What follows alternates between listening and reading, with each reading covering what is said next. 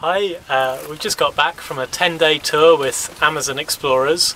We've had a fantastic time.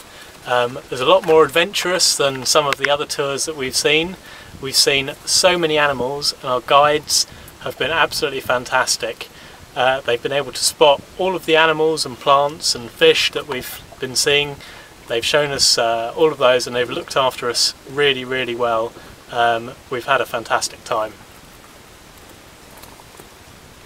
Oh, me. um, there's a good mixture of seeing the wildlife and also um, meeting the local people and visiting the village and um, finding out about the way they live.